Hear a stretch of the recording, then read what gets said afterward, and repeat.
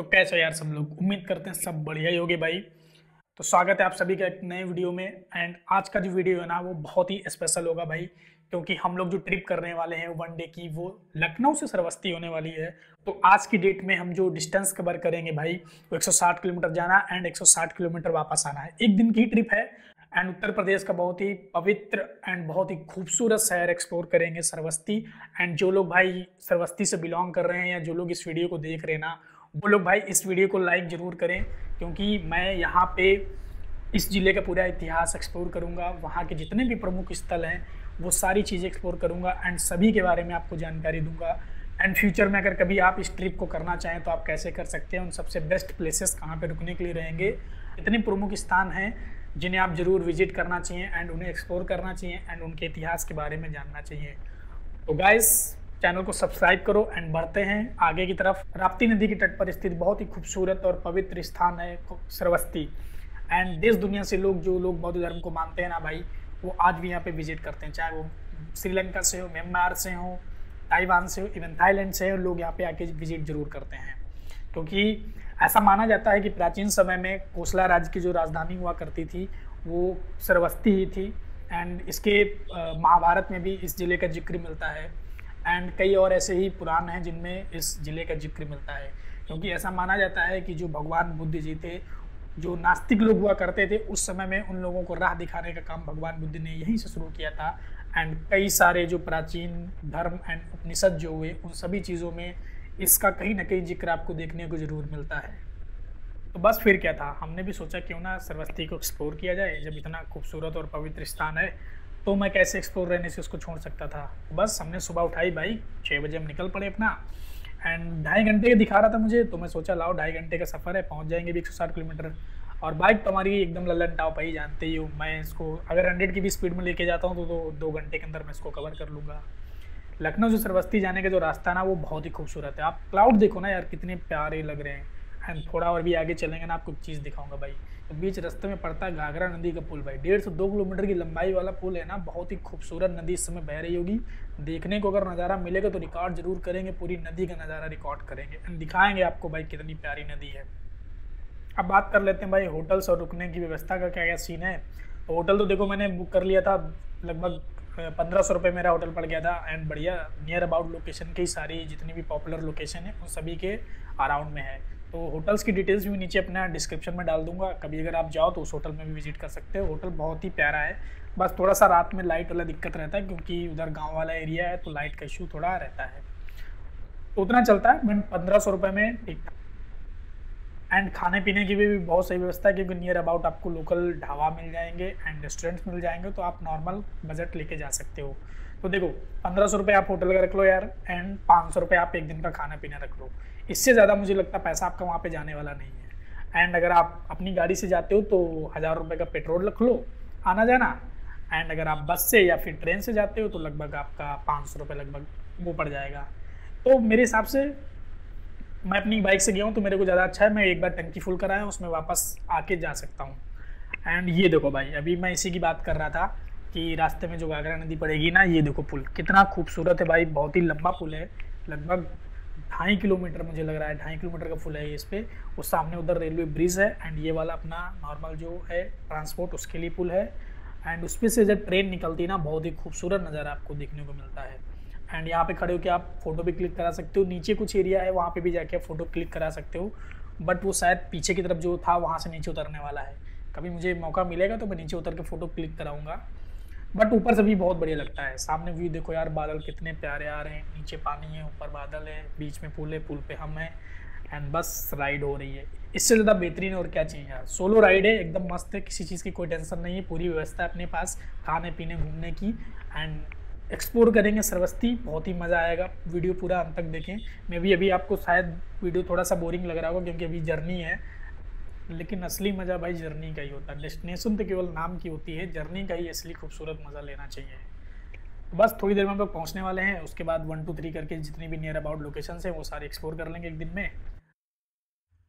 तो सबसे पहले आप जाओ जितवन। ऐसा माना जाता है भाई कि जो गौतम बुद्ध थे, जो भगवान बुद्ध थे, उन्होंने अपनी जीवन के 25 साल यहाँ पे रुके और उपदेश दिए। जो नास्तिक लोग थे, उनको सही रास्ता दिखाया एंड उनका कल्याण किया। आज भी यहाँ पे ये सारे पुराने जो खंडहर के रूप में हैं, ये उसके अवशेष देखे जा सकते हैं। बहुत ही सुकून वाला प्लेस है, अगर आप एक बार यहाँ आओगे ना, जाने का मन नहीं होगा। एंड जो पुरानी ईंटें जो लगी हुई हैं ना, ये भाई बहुत ही खूबसूरत देखने में लगती है। एंड ये केवल अवशेष बचे हुए हैं, इसके अलावा यहाँ पे कुछ भी नहीं है। लेकिन इसके अंदर जैसे ही आप एंट्री करोगे, आपको एक बहुत ही पॉजिटिव वाइब आएगी। एंड पॉजिटिव वाइब कुछ इस तरह से होगी कि आपको फिर जाने का मन नहीं होगा। थोड़ी ही दूर पर स्थित यहाँ पे बोधि वृक्ष है, जो कि बहुत ही ज़्यादा जर्जर हो चुका है, लेकिन फिर भी मैं आपको दिखाने की कोशिश करूँगा कि वो बोधि वृक्ष यहीं पे कैसे स्थित है। एंड जैतून मैंने एंट्री जैसे ही की, उसके सामने मुझे थोड़ी दूर आगे चलने पर ये सामने ही वृक्ष दिखा। वृक्ष की खूबसूरती दूर से देखने से बहुत ही प्यारा लग रहा था, लेकिन पेड़ अब इस करंट समय में जर्जर हो चुका है, इसकी जड़ें कमज़ोर हो चुकी हैं। एंड ऐसा माना जाता है कि भगवान बुद्ध यहाँ केवल वर्षा काल में रुकते थे एंड जब वो बाहर चले जाते थे तो जो यहाँ के लोग हुआ करते थे, वो व्याकुल उठते थे। तो वो व्याकुल ना हो, इसके लिए यहाँ पे एक आनंद शाखा के लिए बोधि वृक्ष की स्थापना की गई थी। एंड ये यहाँ पे स्लेट लगी हुई, इस स्लेट पे इस वृक्ष के बारे में पूरा लिखा हुआ है। आप वीडियो को पॉज करके इसको पढ़ भी सकते हैं। एंड ये ध्यान से देखेंगे तो आपको ये देखने को चीज़ें यहाँ पे मिलेंगी। एंड इसको आप, इसके अंदर अगर आप जाना चाहते हैं तो आप जूते चप्पल उतार के अंदर जाके दर्शन कर सकते हैं। मैं जब यहाँ पे विज़िट किया तो इस पेड़ के नीचे आप जैसे ही जाओगे ना, बहुत ही सुकून, बहुत ही शांति मिलेगा। सिर्फ़ और सिर्फ़ आपको केवल कुछ चिड़िया के चहकने की आवाज़ आपको सुनाई देगी। उसके अलावा किसी भी तरीके का कोई शोर नहीं सुनाई देता है। मैं जैसे ही इस पेड़ के नीचे गया, मुझे इतना सुकून और शांति मिला। मन किया, मैं थोड़ी दूर यहाँ पर बैठ जाऊँ। ये वही बोधि वृक्ष है जिसके नीचे भगवान बुद्ध बैठकर लोगों को उपदेश और ज्ञान दिया करते थे। तो बहुत ही प्यारा, खूबसूरत दृश्य है। उसके बाद समय रहते आप थोड़ा सा आगे बढ़ जाइए एंड फिर विज़िट करिए आप विश्व शांति घंटा पार्क। जापान से लाया हुआ यहाँ पाँच टन का कांच धातु का बना हुआ घंटा आज भी यहाँ पे स्थापित है एंड इसको आप विज़िट करके देख भी सकते हैं। एंड ऐसा माना जाता है जो इससे निकलने वाली जो ध्वनि है, वो लोगों को विश्व में शांति को स्थापित रखने का आज भी संदेश देती है। तो फिर क्या था? मैं इस मौके से कैसे चूक सकता था? मैं भी गया एंड इस गंडे को बहुत ही बैठ के मैंने यहाँ पे जो वाइब्स थी उसको फील किया एंड ट्राई किया कि मैं भी एक बार इस घंटे को बजाऊं। एंड फिर क्या था? बस मैं जूते चप्पल निकाल के ऊपर चढ़ा एंड घंटे की एक बार मैंने मारा एंड देन फिर मैंने दो बार मारा एंड देन फिर नीचे उतर आया। बट यहाँ पे इससे जो घंटियाँ है ना, वो मुझे लग रहा है पूरी सर्वस्ती में इसकी ध्वनि पूरी तरीके से सुनाई देती है। तो यहाँ आप तो ज़रूर विज़िट करें, बहुत ही प्यारा दृश्य है। तो अब आधा दिन हो चुका है, उसके बाद हम निकलते हैं नेक्स्ट लोकेशन पे, जो कि बुद्धिस्ट हाइस है। रोड पे आप निकलेंगे ना तो रोड पे निकलने के बाद थोड़ा सा आप इधर उधर देखेंगे ना तो आपको बौद्ध धर्म से रिलेटेड बहुत सारी जानकारी मिल जाएँगी। आप लोकल लोगों से भी बात करके यहाँ पे जानकारी इकट्ठा कर सकते हैं। एंड यहीं पे आपको थोड़ा सा आपके ये सामने आप देख सकते हैं, ये कॉलेज है, जहाँ पे बौद्ध धर्म की शिक्षा दी जाती है। एंड इसके बगल में भी एक श्रीलंकन टेंपल है, अभी वहाँ भी चलेंगे, वो भी आपको विज़िट कराएँगे। एंड थोड़ा सा आगे जाने पर आपको एक थोड़ा सा टीला टाइप का दिखाई देगा एक ऊँची सी लोकेशन है। मुझे इसका नाम तो नहीं याद आ रहा था बट हाँ आप यहाँ पे धीरे से चढ़ के जाओगे, बहुत ज़्यादा ऊँचा नहीं है बट हाँ धीरे धीरे अगर आप ऊपर चढ़ के जाओगे तो आपको चीज़ वहाँ पे देखने को नज़र आएगी कि वहाँ से जो सरवस्ती है वो आपको पूरी दिखाई देती है। मतलब जो शहर है, जो कस्बा है, जो वहाँ के नियर अबाउट लोकेशन है ना, वो आपको दिखाई देती है। एंड सबसे बड़ी चीज़ कि यहाँ से आपको जो नेपाल का बॉर्डर है ना, वो सामने आप देख सकते हैं।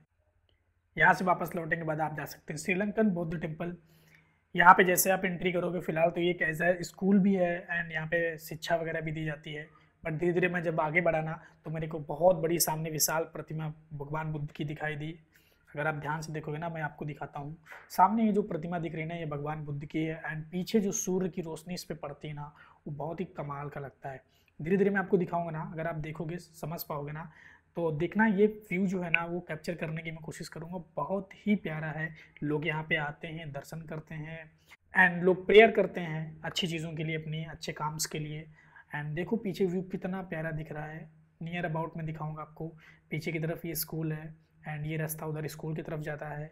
एंड इसके बगल में जस्ट एक तालाब बना हुआ, वहाँ पे कमल के फूल फूले हुए हैं। अगर आप देखोगे ना तो इसके अंदर आप एंट्री करोगे तो सामने जो प्रतिमा है ना, ये बहुत प्यारी लग रही है आप। आगे अंदर आप जैसे ही एंट्री करोगे, वैसे ही आपको सामने ये प्रतिमा दिखाई देगी। बहुत ही खूबसूरत दृश्य है। आप यहाँ पर्सनली विज़िट करो एंड शाम के टाइम विज़िट करो। एंड शाम का टाइम का एकदम व्यू अलग ही रहता है। और उसके बाद आप जा सकते हो अंगुली माल स्तूप।